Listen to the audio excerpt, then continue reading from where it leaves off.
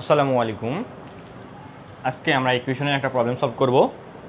তো এখানে প্রশ্নে কি বলা আছে? নিলয়কে কিছু দ্বিগুণ করতে বললে সে প্রথমে তার সাথে এ যোগ করে, তারপর বি দিয়ে গুণ করে। যেমন, তাকে দু হাজার বিশ দ্বিগুণ করতে বললে সে উত্তর দেয় four eight four eight zero আবার তাকে দু হাজার বিয়াল্লিশ দ্বিগুণ করতে বললে সে উত্তর দেয় four eight seven four four তাহলে এ প্লাস বি মান কত? তাহলে আমাদের এখানে এ প্লাস বি এর মান চাওয়া হয়েছে। শুরুতে আগে তোমরা নিজেরা এই প্রবলেমটা ট্রাই করো, এরপর সলিউশনটা আমার সাথে মিলে নিও। আমি সলিউশনে চলে যাচ্ছি। তাহলে কোনো কিছু দ্বিগুণ করতে বললেই সে কি করে? প্রথমে এ যোগ করে, তারপর বি দিয়ে গুণ করে। তাহলে তাকে যেহেতু ফার্স্টে বলা হয়েছে দুই হাজার বিশ দ্বিগুণ করতে, তাহলে ফার্স্টে আমরা দুই হাজার বিশের কাজটা করব। তাহলে দু হাজার বিশ দ্বিগুণ করতে হলে সে কি করবে? দুই হাজার বিশ এর সাথে কি করবে?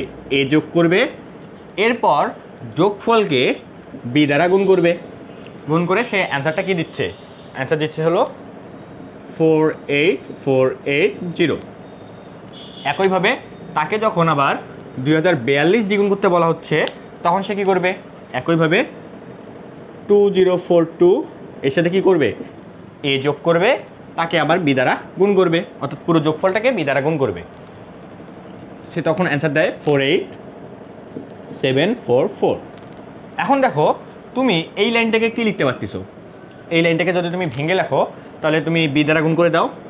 Two zero two zero B plus A B এটা equal four eight four eight zero আবার একইভাবে এটাকেও তুমি ভেঙে গুণ করে দাও।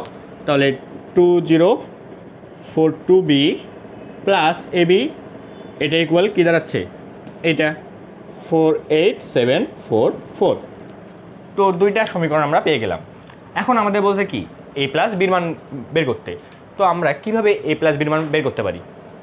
তো দেখো, এটা যদি আমাদের এক নম্বর সমীকরণ হয়, এটা যদি আমাদের দুই নম্বর সমীকরণ হয়, তাহলে দেখো কোনটা বড়? তো যেহেতু আমাদের এইটা কি, বড় না?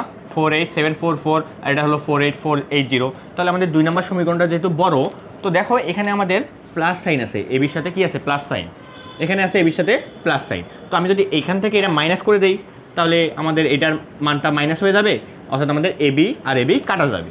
তাহলে আমি কি করব? টু মাইনাস ওয়ান করে নেই। টু মাইনাস ওয়ান করলে আমরা কি পাচ্ছি? এইটা মাইনাস এইটা। তাহলে আমাদের এখানে এইটা মাইনাস এইটা মানে কি? চিহ্নগুলো পরিবর্তন হয়ে যাবে। এটা হয়ে যাবে মাইনাস এটা হয়ে যাবে মাইনাস আশা করি বুঝছ। আমি এটা মাইনাস এটা করতেছি, তার মানে কি? এখানে প্লাস থাকলে মাইনাস হয়ে যাবে, এখানে প্লাস থাকলে মাইনাস হয়ে যাবে, যেহেতু আমি এখানে মাইনাস করতেছি। মাইনাস দ্বারা গুণ করতে হবে। তো, তুমি কী করবা? Two zero four two B minus কী হবে? এইটা। Two zero two zero B আবার এখানকার A B R A B তো কাটা যাচ্ছে, যেহেতু আমি মাইনাস করতেছি।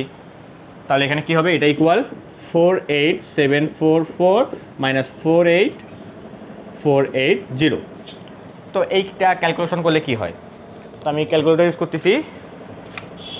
Two zero four two minus two zero two zero তাহলে আসতেছে হলো টোয়েন্টি টু বি এটা equal four eight seven four four minus four eight four eight zero এটা আসতেছে হলো টু সিক্স ফোর তাহলে বির মানটা আমরা কত পাচ্ছি?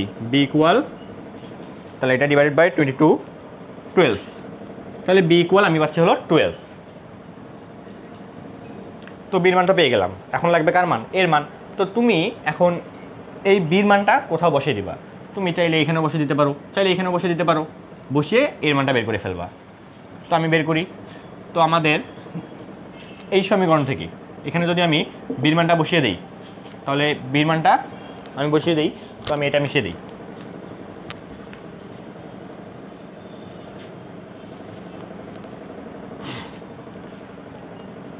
তাহলে এই সমীকরণে আমি বিরমানটা বসাচ্ছি।